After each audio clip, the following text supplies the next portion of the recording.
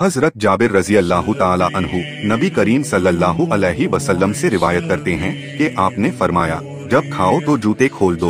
हज़रत अनस रज़ी अल्लाह अनहु नबी करीम सल्लल्लाहु अलैहि वसल्लम से रिवायत करते हैं कि आपने फरमाया, जब खाना आ जाए तो जूतों को निकाल दो, ये तुम्हारे कदम के लिए राहत बख्श है।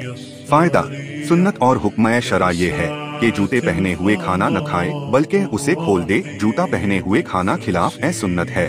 और पैरों के लिए भी तकलीफ़ देह है। आजकल उमूमन लोग होटल वगैरह में जूते पहने खाते हैं। इस बुरे तरीके से एहतियात करना चाहिए।